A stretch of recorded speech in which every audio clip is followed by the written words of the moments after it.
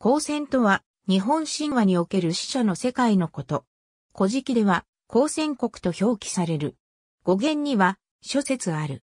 最も有力なのは大和言葉の読みに漢語の光線の字を当てたものであるとされ、また漢語で光線は地下の泉を意味し、それが転じて地下の死者の世界の意味となったともされる。他には山説、光線が坂の上にあり、現義は山であるとする。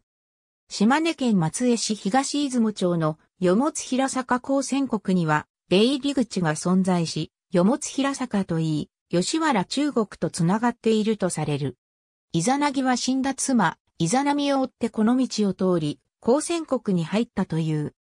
古事記には後に、根の研修国というものが出てくるがこれと高専国との関係については、明言がなく、根の国と高専国が同じものなのかどうかは、説が分かれる。よもつ平坂の坂本という表現があり、これは坂の下、坂の上がり口を表しているという説と、坂の字は当て字であり、坂は教会の意味であるという説とがある。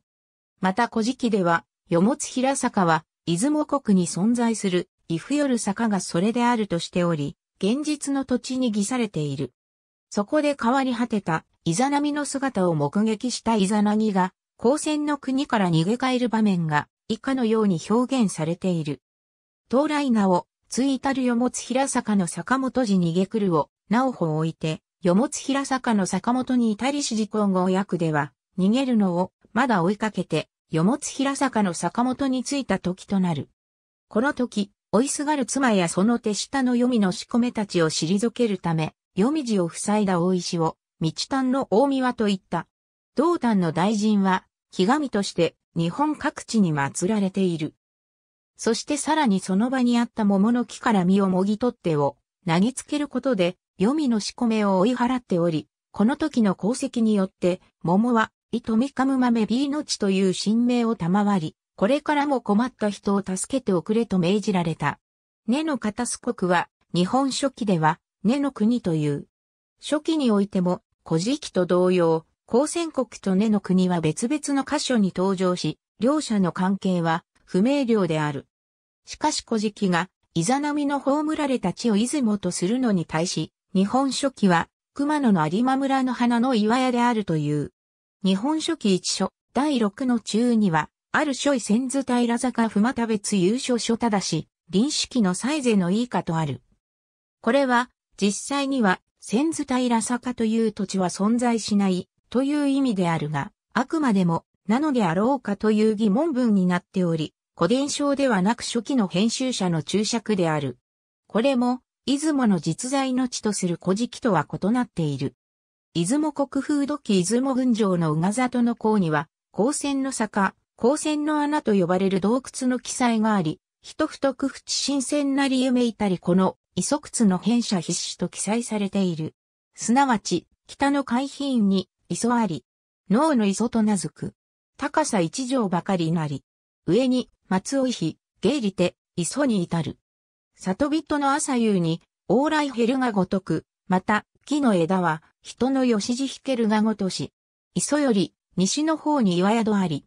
高さと広さと角六尺ばかりなり、岩屋のうちに穴あり、人、入ることを得ず、深き、朝きを知らざるなり、夢に、これの磯の岩屋の辺に至れば必ず死ぬ。ゆえ、俗人、古より今に至るまで、光線の坂、光線の穴と泣く。この洞窟は、出雲市井目町にある、イノシシメ洞窟に否定されるのが通説である。イノシシメ洞窟は、昭和23年に発掘され、弥生時代から古墳時代にかけての人骨や副葬品が発見された。古代の中国人は地下に死者の世界があると考え、そこを読めと呼んだ。木は古行説で同表彰しているので、もともとは地下を指したもので、死後の世界という意味ではなかったが、後に死後の世界という意味が加わった。現代中国語でも死後の世界の意味で日常的に用いられている。新約聖書中のギリシャ語、ハデス、旧約聖書中のヘブライ語、シェオルを漢文訳の聖書では、光線と訳しており、日本語訳聖書においては、口語訳聖書では、光線、新共同訳聖書では、読み、新海訳聖書では、ハデスと訳されている。類語であるギリシャ語のゲヘンナは地獄と訳されることが多く、訳し分けがなされている。他方、日本正教会訳聖書では、ゲヘンナを地獄、ハデスを地獄とルビを使って訳し分けている。キリスト教内でも地獄に対する捉え方が、教派、神学傾向などによって異なる。地獄と訳されることの多いゲヘンナと、光線と訳されることの多いハデスの間には、厳然とした区別があるとする見解と、区別は乱すもののそれほど大きな違いとは捉えない、見解など、両概念について様々な捉え方がある。厳然とした区別があるとする見解の一例によれば、ゲヘンナは最後の審判の後に神を信じない者が罰せられる場所、ハデスは死から最後の審判、復活までの期間だけ死者を受け入れる中立的な場所であるとする。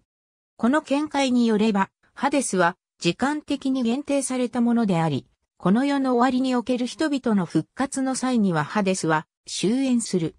他方、別の捉え方もあり、ハデスは不信仰な者の魂だけが行く場所であり、正しい者の魂は永遠の住まいにあってキリストと一つにされるとする。上述した見解例ほどには大きな違いを見出さない見解からは、芸遠な、アドのいずれも、聖書中にある、外の幽暗、火の炉といった名称の数々と同様に、罪から抜け出さずにこの世を去った霊魂にとって、罪に定められ神の怒りに服する場所であることを表示するものであるとされる。光線国は地下ではなく地上にあったという説。光線国とは出雲地方のことであるとする説がある。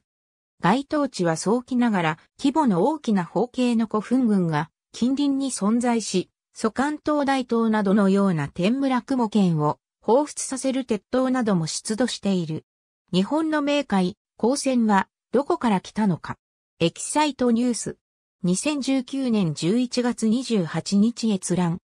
東アジアの古代文化91号大和処方1997年 P112 光線世も看護に隠される和語の世界西条務む他に下次回イタリゲンセファンセン今国行き会名ファンセン平坂時とする本あり。AB 旧約新約聖書大辞典540ページ。1261ページから1262ページ。教文館。ISBN 9兆7847億6424万63、エビーモスクワフ主教マカリー一世著、政教定理進学526ページから529ページ、安本美天著、山大国と出雲神話、務む製出版2006。ありがとうございます。